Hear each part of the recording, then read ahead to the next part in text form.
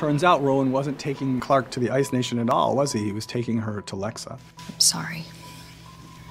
But it had to be this way. I had to ensure one head didn't fall into the hands of the Ice Queen. She uh, is happy to see Clarke. I need you. but Clarke is not so happy to see Lexa. Ah! You bitch! Ah! You wanted the commander of death! You got her! Ah!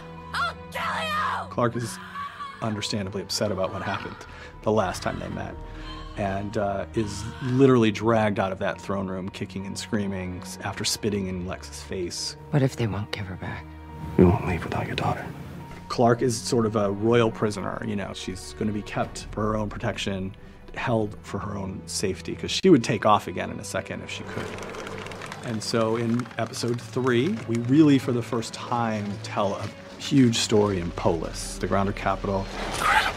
You know, that becomes a huge, huge location for us all season long. As soon as your leg heals, you'll be right back out there. My leg's fine. Kane's trying to teach me a lesson. Here's what I'll say about Bellamy in episode three. He's kind of on the outs. Like he's been put on the bench. He's wounded. He's injured, right? So there's a big mission that happens in episode three, and he's not a part of it. I should be there. And he wishes that he was. He should be on the field with the team. Echo.